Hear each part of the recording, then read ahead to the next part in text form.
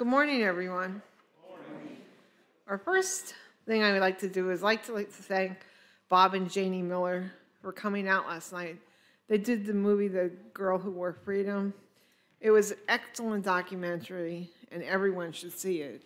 Um, it really opens your eyes to what our veterans do, do for us and the freedoms we have today.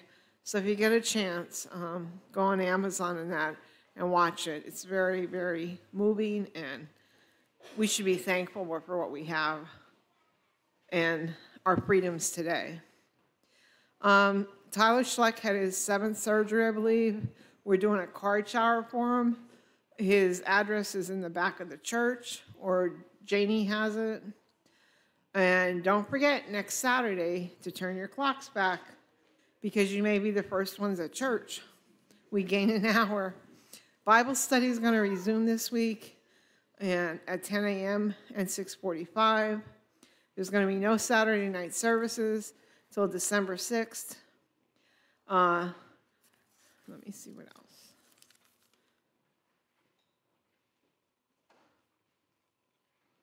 November 27th at 6 p.m. Amy has a crew coming out, and everyone is welcome. We're going to decorate the church for Christmas. And November 15th at 6 p.m., we will have an outreach meeting in the Sexton's house. November 8th is the board meeting, and uh, Sam is in charge of it since he's the vice president. I will not be here the next two weeks because with my 50th class, I'll be on sailing on the ocean with Ruthie. So please pray for us Wednesday, Wednesday as we leave that we have a safe journey. And now, Carissa. Oh, Dwayne. Good morning. So today is the last reminder about the famous pork and sauerkraut dinner on Saturday. Um, I'm not sure if I'm hoping for weather like we had yesterday because that was almost too nice, but a nice, cool fall day gets everybody in the mood for pork and sauerkraut. So the pork's ordered, the potatoes are ordered, we're ready to go. All we need is you. We need help. So the sign up sheet is out at the narthex. We especially need some help for servers for like the 5 to 7 o'clock shift. Serving is just standing at the buffet line and dishing out the, the potatoes and the pork and the sauerkraut as people come through. We also need some kitchen help too. So if you like behind the scenes kind of stuff, uh, sign up please and help us out. If you're tuning in online, what I'll try to do is snap a picture of that sign up sheet and show you where those uh, holes remain. And if you can help us out, we would greatly appreciate it. If you can't, and if you just want to come and eat, please bring your neighbors, bring your friends.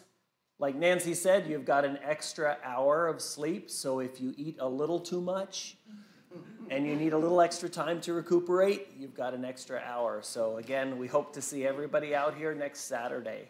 Thanks. Good morning. Abigail would love to thank everybody uh, in this church for their generous support for her and Abigail's Adventure and the Down Syndrome Center of Trexlertown. Thank you.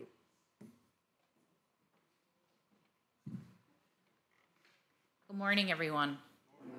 Uh, a reminder today is the All You Can Eat Drama Club breakfast at the West Penn Fire Company. It's $10 for all you can eat pancakes sausage and bacon, so it goes till 12 o'clock. Please go out and support the children. Uh, the other thing, Operation Christmas Child, we have two more weeks. The boxes are going to be due November 12th. Uh, if you happen to be away, Nancy just caught me because she's going to be away. I do not take them until Tuesday night. So if you need to, you can always drop them off at my house or um, make arrangements with me. We do have a small video as we do each week. And if you find that you have any questions, I don't want to kind of give you the same speech each week, but if you find that you have any questions, please feel free to seek me out after church or my phone number is on the posters. For those watching at home, it's um, 570 778 4561. Thank you guys, and we're going to have a small video.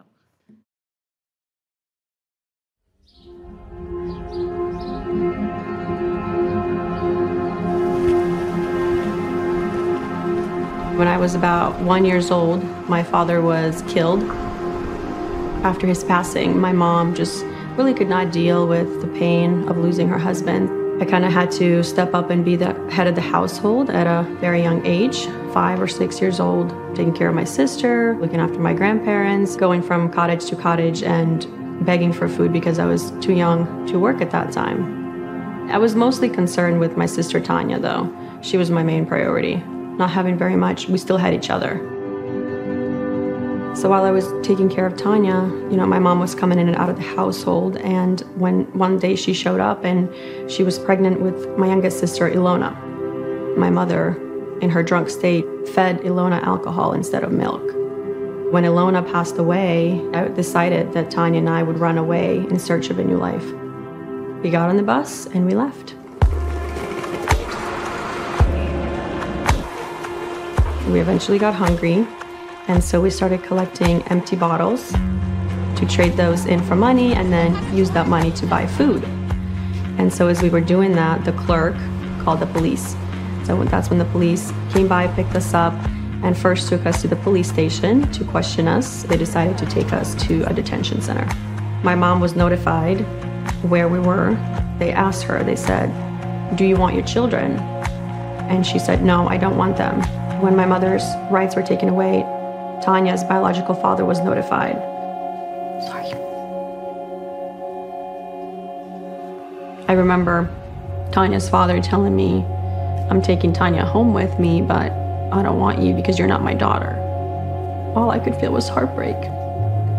But I knew that I had to let her go.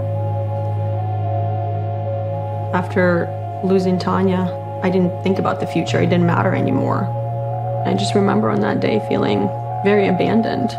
No one cared about me. After about a year at the detention center, I was transferred to an orphanage. Because I felt so empty, I started praying on my own. Without even knowing God, I was crying out to Him, asking Him to give me a sign that everything was going to be okay. There is a purpose for me. Every night I would pray. And that is when Operation Christmas Child came to our orphanage. I'm crying again. I'm so sorry. You're doing, you're doing awesome.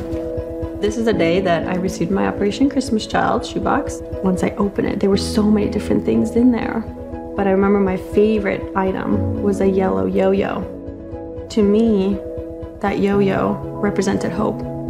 It was an answer to my prayer. In that moment, I knew that this was the sign that God was sending me. That you are not alone. You are not an orphan. You are my daughter. And that's what I knew that God is real and that He is with me.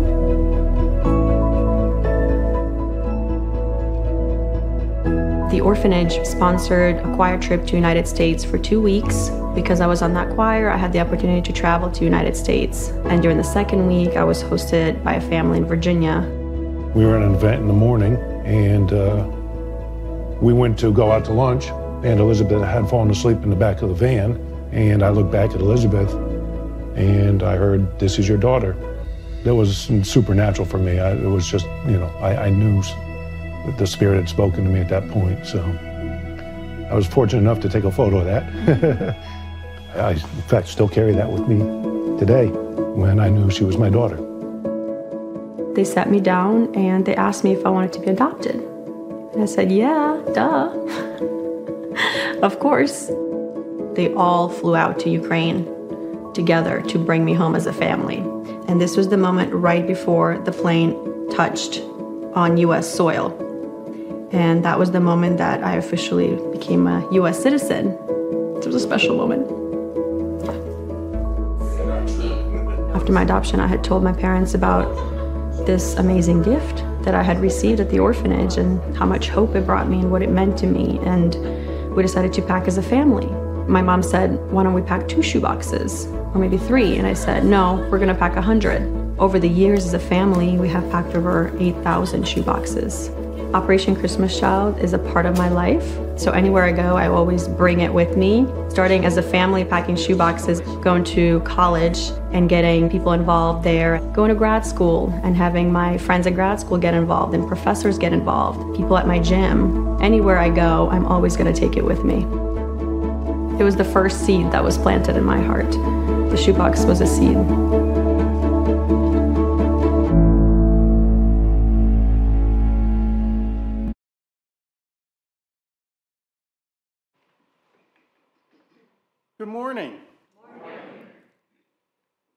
On behalf of Zion's Stone Church, I welcome each and every one of you that are here today and also those that are watching us on the internet.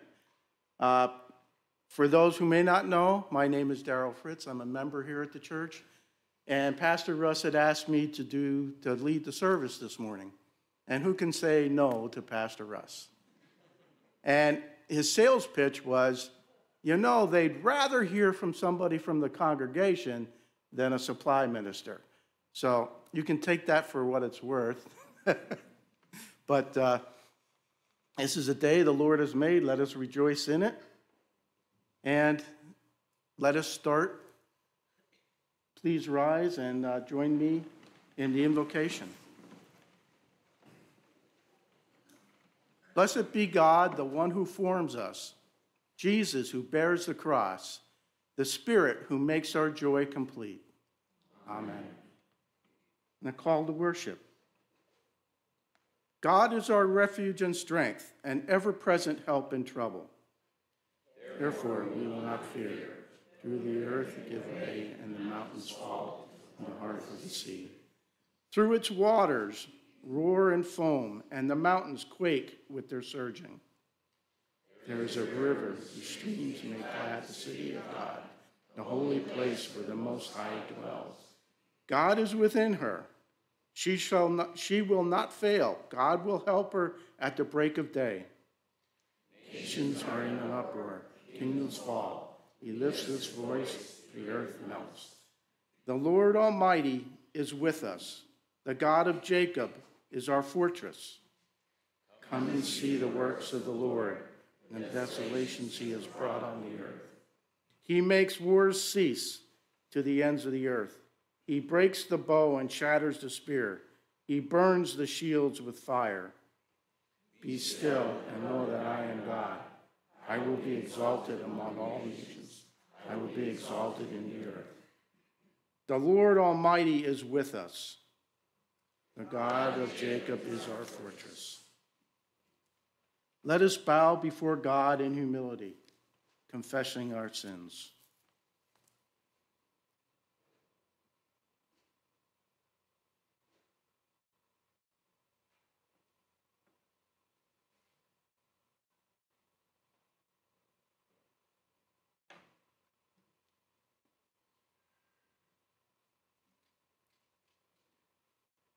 Steadfast and faithful God, you have revealed the ways of justice, yet we fail to follow you. We are overwhelmed by the world's violence and suffering. We are afraid to risk what we have for the sake of others. For the harm we have caused, known and unknown, forgive us. For the unjust demands we place on others and your creation, forgive us. For the ways we turn away from you and our neighbor, forgive us. Lead us back to you and set us on the right path. In the name of Jesus Christ, Savior. Amen. Beloved in Christ, God's justice stretches beyond all understanding. God's compassion is beyond compare. In Jesus, God is always making a new way for us. In Christ, you are already and always forgiven. Amen. Now please join me in the next in the hymn, The Mighty Fortress is Our God.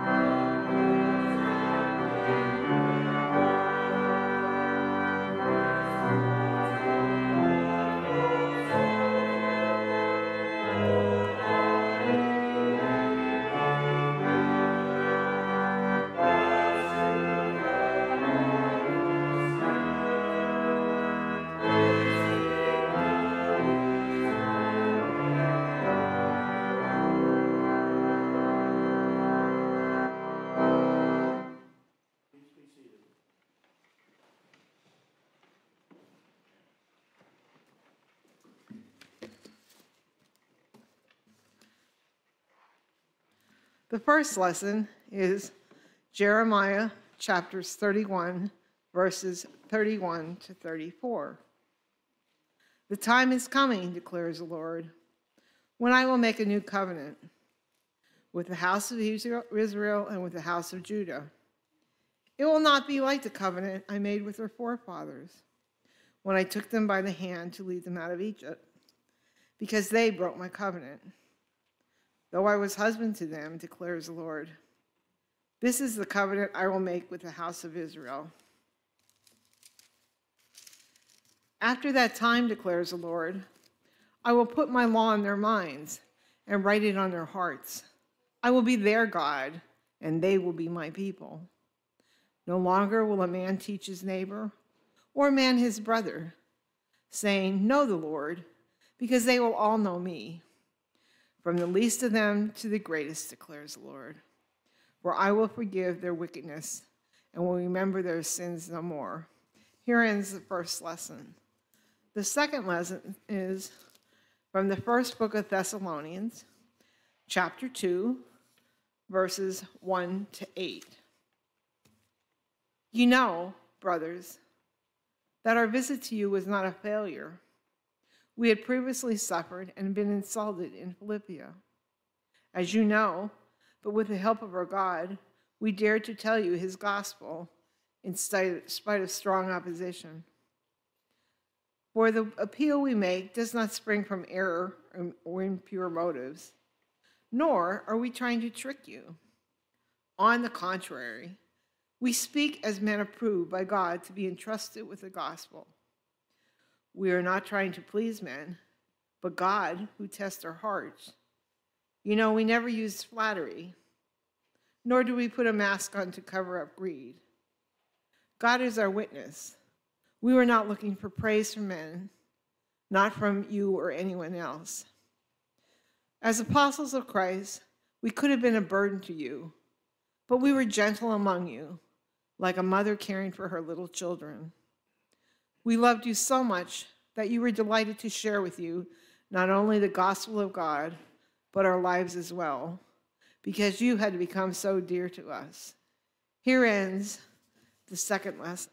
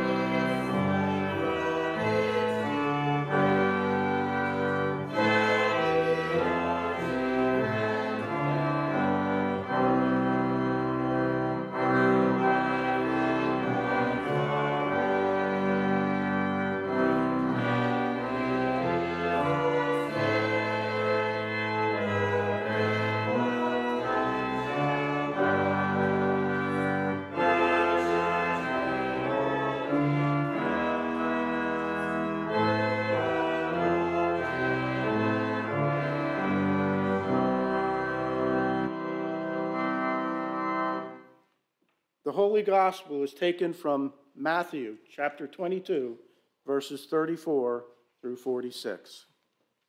The greatest commandment.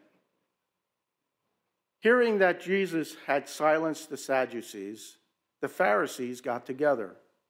One of them, an expert in the law, tested him with this question Teacher, which is the greatest commandment in the law?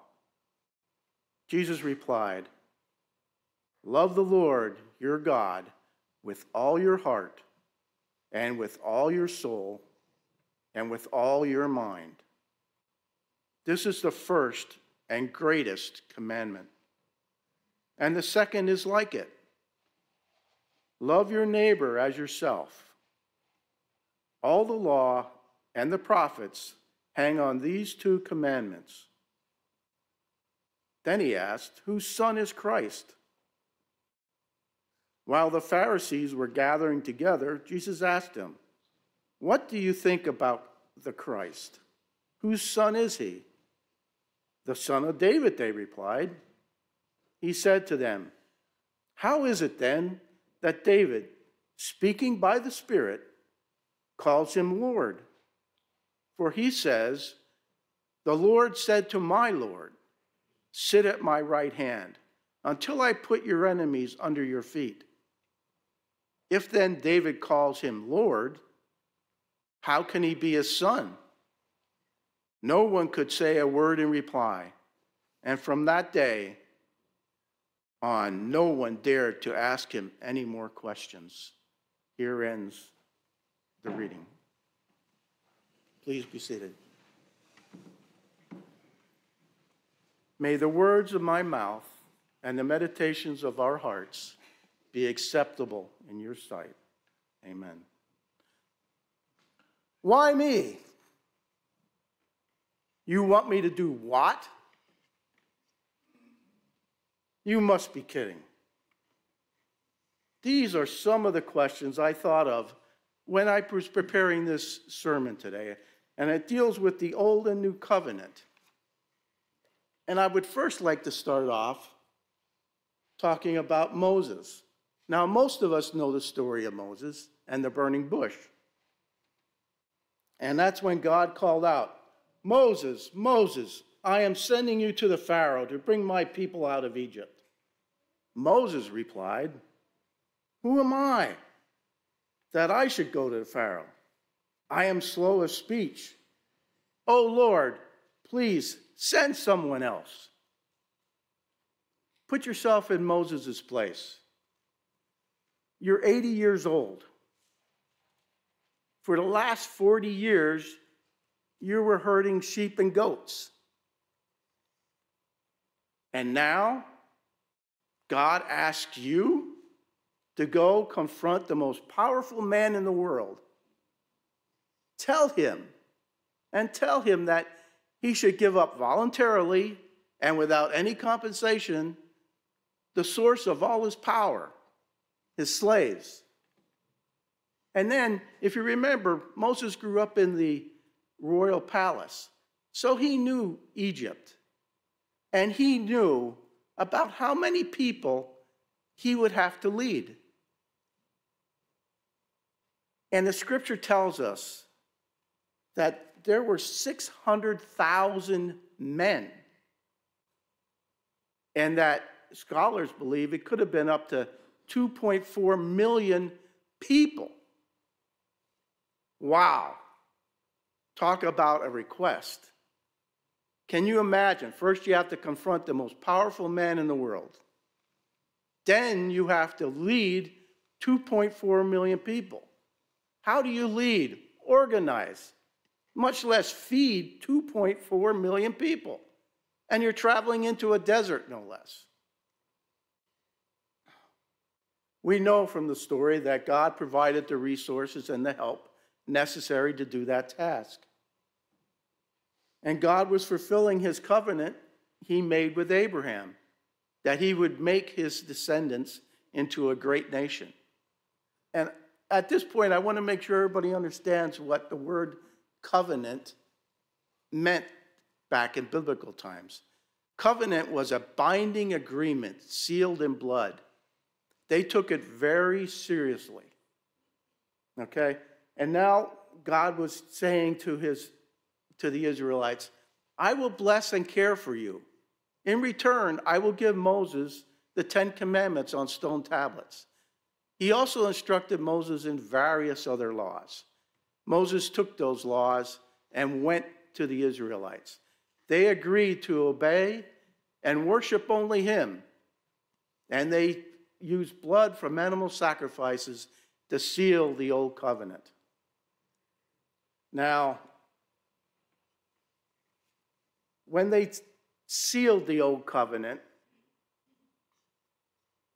God already knew that they would break that covenant. How do we know that? Well, in Deuteronomy chapter 31, verse 16, when Moses was, was, couldn't go into the promised land, God had taken him, shown him where it would be, and he was telling him that he would die. And God said this You are going to your fathers to rest with them. And these people will soon prostitute themselves to the foreign gods of the land they are entering. They will, they will forsake me and break the covenant I made with them. So he already knew the people would break that covenant. Fast forward 800 years when Jeremiah was a young man. By this time, Israel had divided into a northern and a southern kingdom. The northern kingdom had already fallen. fallen. In Judah, the southern, southern kingdom, society was deteriorating economically, politically, and spiritually. God's words were deemed offensive by the leaders. The people were selfish. They worshiped many different idols. God wanted his people to repent and remember the covenant he made with their forefathers. To do this, God chose Jeremiah and he talked to him. And listen to the words he used when he called him. He said, Before I formed you in the womb, I knew you.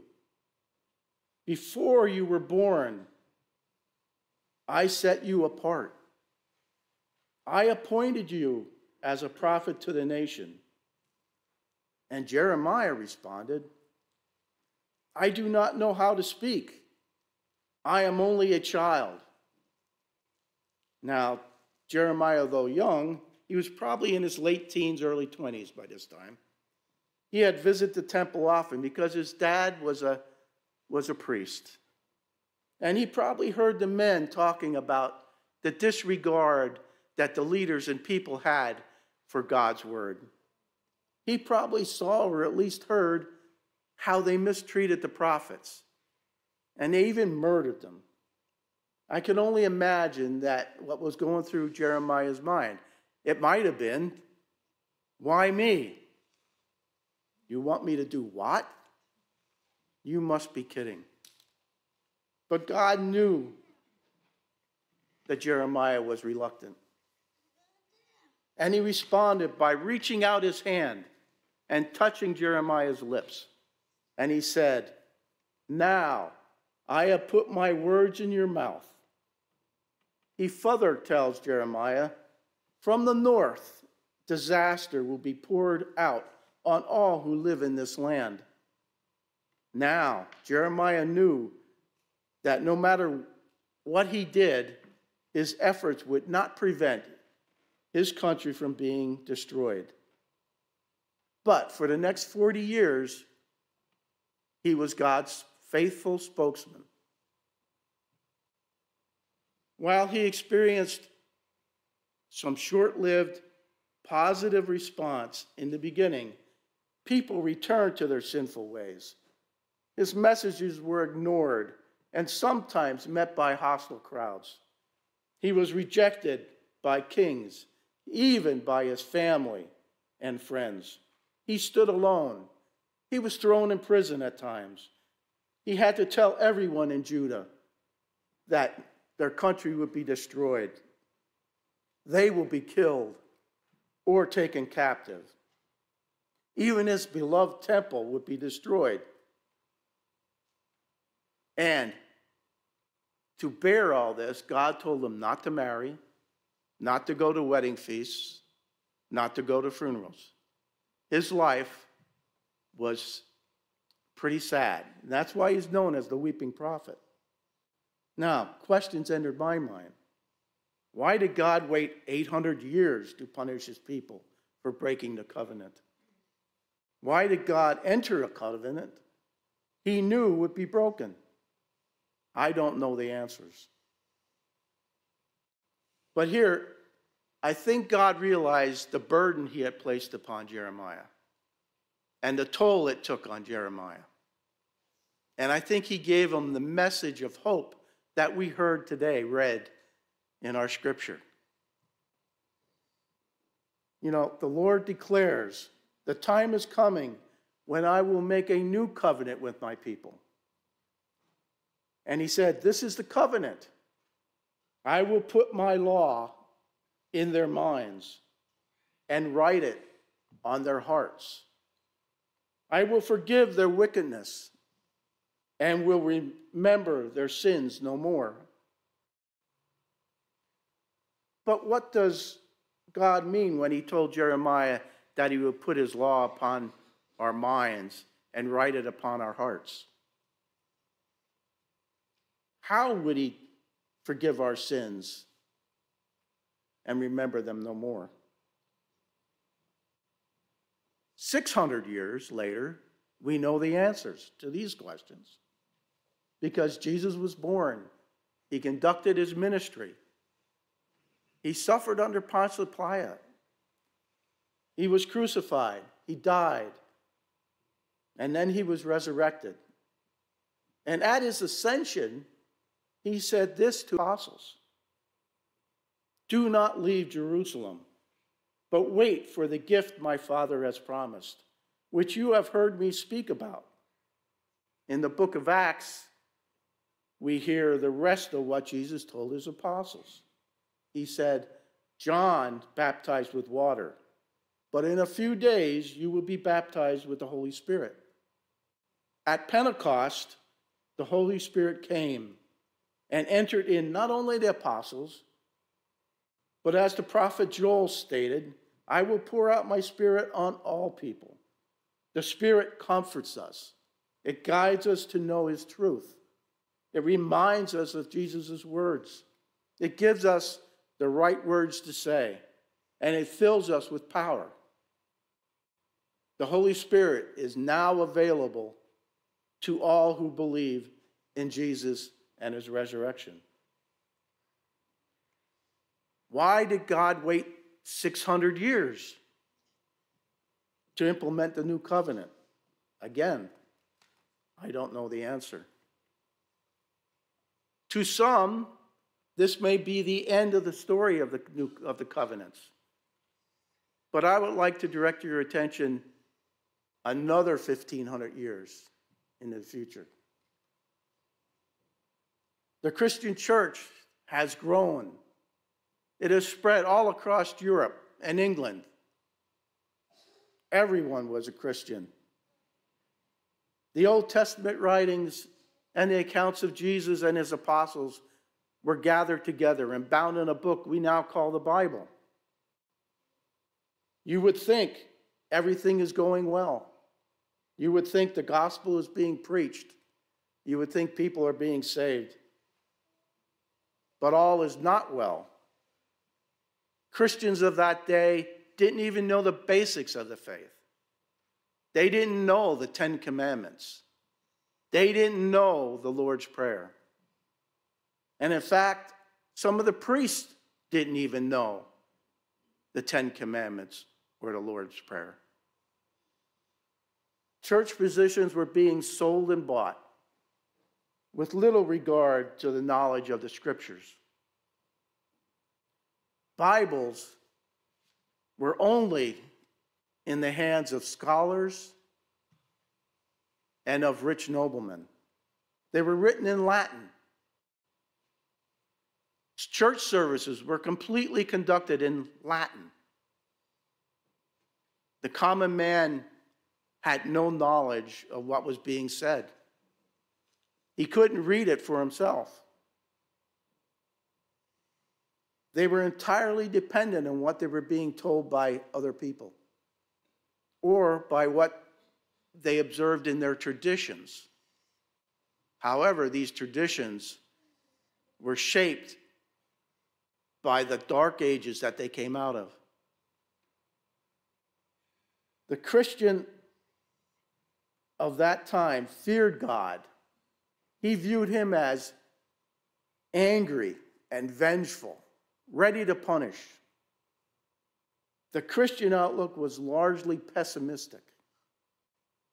Their lives were filled with greed, violence, war, hunger, pain, disease, suffering, and then death. People were superstitious, believing in evil spirits that were controlled by witches. For many, the people of the saints, for many people, the saints became special deities, and Christianity, a religion of many gods. They believed only church officials, priests, or monks could go directly to heaven. Everyone else had to go to purgatory, a place where a person atones for his sins. A system of penalties was established by the church, in addition to the judgment of God. At first, a pilgrimage or some humble service was prescribed. Then, the practice of substituting money payments called indulgences became the norm the powers to be realized they could raise more money for the church if they sold these indulgences to shorten a person's time in purgatory. And then they even sold indulgences so that you could shorten a relative's time in purgatory. And of course, purgatory was perceived and related to be a time of torture and suffering. And the more fearful the people were of this time in purgatory, the more indulgences they sold. I found one reference where an indulgence was bought to shorten someone's time by almost two million years. Martin Luther grew up in this culture and accepted it. His father was a miner who was successful. He even became owner of a mine or two. And he could afford an education for his son. Martin Luther attended a Latin school and then a university. His father wanted him to be a lawyer, but God had other plans. When he was 22, he was on his way back to the university from visiting his parents. A severe thunderstorm overtook him. It was dark, it was windy, it was torrents of rain, it was thunder booming all around, lightning in the sky. And then a lightning bolt struck nearby, threw him off his feet. And that's all a medieval man had to experience. Surely it was the wrath of God. In a flash, his fate passed before his eyes. He visioned himself at the judgment seat. At once he called out to St. Anne, the miner's saint Help me, I will become a monk. And of course, he lived. And of course, he became a monk. Now, as a monk, starting out, his room was seven feet by 10. He had a table, a chair, and a straw bed. It wasn't heated. There was one window. Noise, conversation, and laughter were forbidden. Martin was taught to walk with his eyes down. He was told when and who to bow to, and even throw himself the ground, on the ground in front of. He was giving lowly tasks to learn humility. But he was given two meals a day, except on the 100 fast days when he would get one meal. And prayer started at 2 a.m., seven times a day. Sometimes during this process, it was said that Martin Luther wanted, regretted his promise to become a monk. But it was a promise, a promise he made and a promise he will keep. As he studied, the powers to be realized that this guy has potential. They send him off to study to be a priest. And then, as he studied the Bible, he began to question the practices of the church, particularly indulgences. After years of soul searching, Luther finally came to the understanding that Jesus was merciful, kind, and forgiving. He understood that when the New Testament spoke of the power of God, it was not talking about the power God possesses himself, but the power he implants in us. And he came to the realization that we are justified, which means God's act of declaring us not guilty for our sins by faith in Jesus. For the next 17 years, he tried to reform the church at great peril to himself. He knew that people who tried before were called heretics and were burned at the stake. His life had been threatened. In fact, his friends took him away and put him in a castle for four years. And that's probably where he might have got the inspiration for the song title we heard earlier today, A Mighty Fortress. Well, he didn't stay there, and the Lutheran Church was established. The new covenant was understood once more. Throughout these 2,000 years, we briefly talked about this morning. It shows that God knows our sinful nature, our stubbornness to do things our way, and our pride that refuses to acknowledge our sinful ways. We even heard it this morning to forgive our sinful ways. Could it be that God wanted to prove to us once and for all, beyond any shadow of a doubt, our sinful ways and that we can't save ourselves? Is that why he took so long to do things? Or is it that he was demonstrating his patience, his love, his mercy? Or was it a combination of both?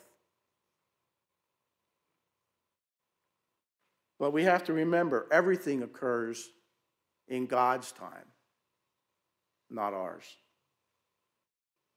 We can learn from the Christian faith in the Middle Ages, where they were completely dependent upon others for the word and they were easily led astray. We now have a Bible in our language that we can read or listen to, and we can directly know God's Word. I encourage you to read your Bibles and fact check what you see and hear. Remember, the Holy Spirit will help you find the truth. And one final thought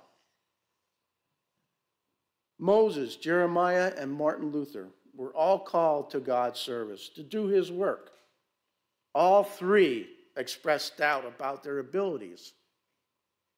The tasks were intimidating, but God would not ask them if He didn't provide the skills, the knowledge, and the help to complete the task. God calls each of us to do his work. Probably not in the grand fashion he called Moses, Jeremiah, or Martin Luther, where he had a burning bush, the hand of God, or a bolt of lightning. But then again, he may not ask us to do such difficult tasks. His urging may be more of a gentleness, a little whisper, a gentle nudge. And I leave you with this. If you ever find yourself saying or thinking, why me? You want me to do what? You must be kidding. Remember the calling of Moses and Jeremiah and draw strength and confidence from their experience. Amen. Please join me in the next hymn Christ has made the sure foundation.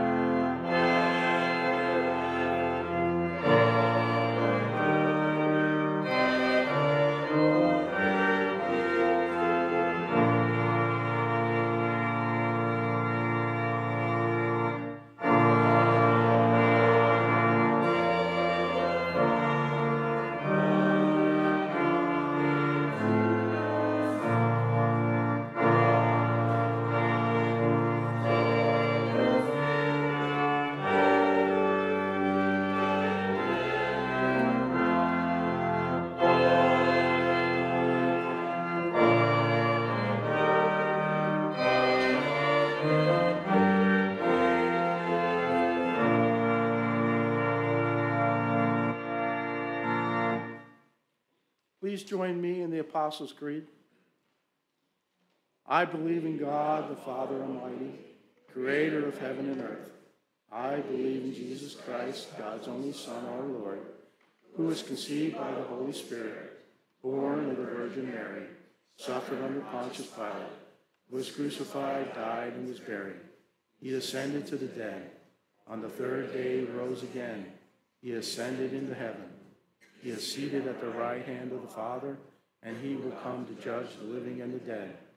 I believe in the Holy Spirit, the Holy Catholic Church, the communion of saints, the forgiveness of sins, the resurrection of the body, and the life everlasting.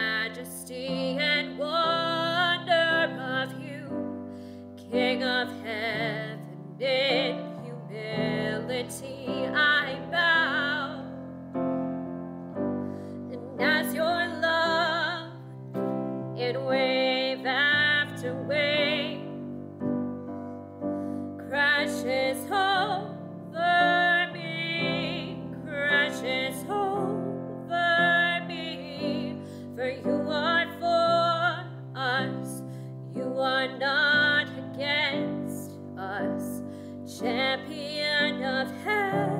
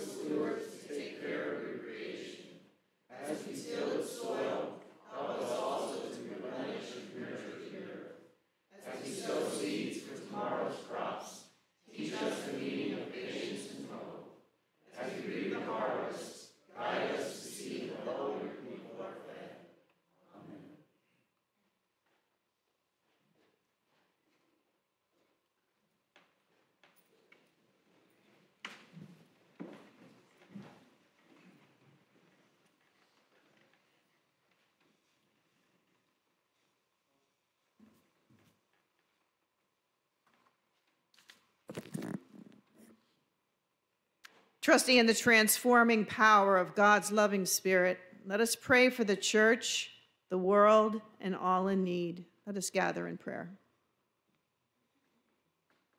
God our Father, you call us your children.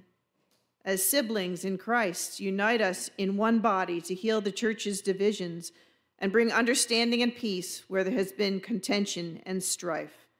God of grace, hear our prayer. God, our Creator, your hands have made the heights of the mountains, the depths of the sea, and the life that animates all creation. Bring relief to areas harmed by wildfires, floods, storms, and human carelessness. God of grace, God, our reformer, you make all things new. Free us from complacency, open us to unexpected challenges, and kindle zeal in us for the future. Let your justice and peace roll down like waters wherever, wherever there is strife, injustice, war, or religious conflict. God of grace. God, our champion, you are our refuge and strength, a very present help in time of trouble. Jesus, draw near to all who suffer and be their rest and comfort. We pray especially for Marilyn Honor, Angela, Carol Bowder, Loretta Beers, Brenda Christensen, Jer Christensen, Eileen Coombe, Donna Dubik, Mary Fianza, Peggy Frace, Elaine Goho, Jackson Green, Angela Ham, John Ham, Andrea Harris, Diane Heckman, Kathleen Hinckley, Mark Hauser, Paige Hughes, Don Hunsinger, Verna Kirschner, Paul Nepper, Nancy Miser, Donald Miller, Mary Petrish, Ruth Sable, Tyler Schlecht, Dwight Schock, Jean Surface, Carrie Simmons, Robert Stufflet, Lucinda Tuckett, Derry Unack, Chris Ware, Holly Welker, Mary Wood, Gary Zahner. God of grace, hear our prayer. God, our Savior, you made yourself known in the lives of all who have died in the hope of your grace. We give thanks for the witness of reformers like Martin Luther and for all whose example has brought us closer to you, God of grace. Gracious God, into your hands we commend all for whom we pray, trusting in your unending love and amazing grace. In the blessed name of your Son, Jesus Christ. Amen. Please rise for the Lord's Prayer. our Father, who art in heaven, hallowed be thy name. Thy kingdom come, thy will be done, on earth as it is in heaven. Give us this day our daily bread, and forgive us our sins, as we forgive those who sin against us. And lead us not into temptation, but deliver us from evil. For thine is the kingdom, the power, and the glory, forever. Amen.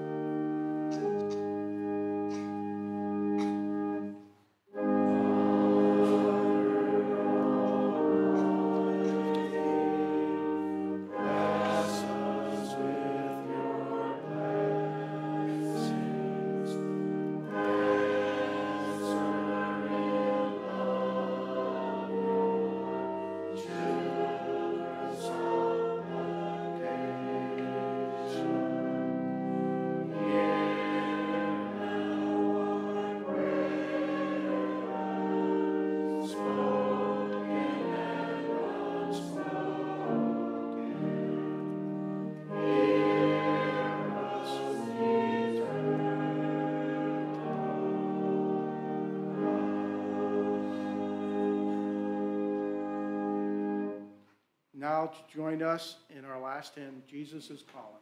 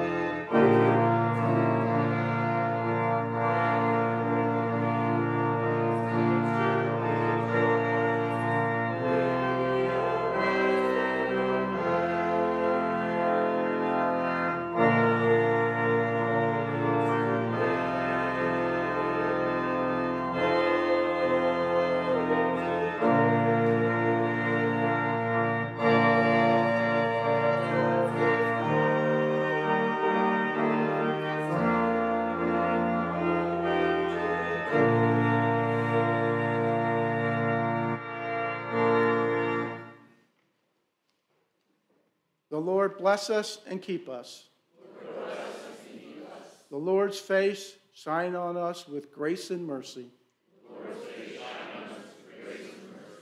The Lord look upon us with favor and give us peace. In the name of the Father, and of the Son, and of the Holy Spirit. Amen.